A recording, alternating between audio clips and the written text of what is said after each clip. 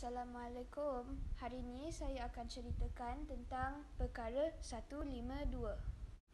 Ini adalah perkara 152. Bahasa kebangsaan di Malaysia adalah bahasa Melayu. Kedudukan bahasa Melayu sebagai bahasa kebangsaan bagaimanapun tidak menafikan kedudukan dan hak bahasa lain untuk digunakan, dipelajari dan dikembangkan sekalipun dengan menggunakan dana awam. Ada banyak perkara yang kita dapat amalikan dalam fazal ini. Ini memberikan kita satu bahasa perantaraan yang boleh dicakap oleh semua rakyat Malaysia secara rasmi atau tidak rasmi.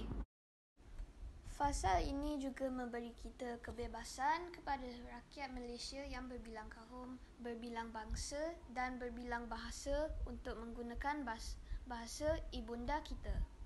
Kalau kita tidak boleh cakap, cakap bahasa yang lain dalam negara kita, kita takkanlah belajar bahasa Inggeris dan bahasa Arab.